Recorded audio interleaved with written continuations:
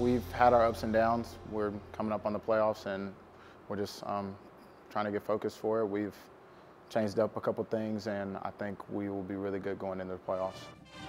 Running play right up the middle. Look out. Race for the end zone. Snoddy.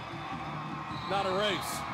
It's not a race at all because nobody's going to catch that kid in the open field as he shows everybody why he's the man to watch out for on that Mazzio's MVP. We've got really, really good kids at Santa Fe that, uh, that work their tail off, that uh, football is very important to, um, that, that, are committed and that are loyal uh, to, to this program and to each other. Um, you know, obviously, Mbari Snoddy's had a great year at, at, tailback for us. Running play up the middle. There goes Snoddy again.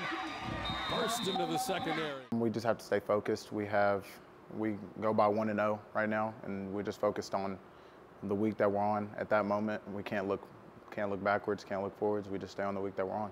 I enjoy my teammates, my coaches. I love to have that connection, that, those relationships with everybody when you um, when you have those connections with everybody, you feel like you're playing for more than just yourself.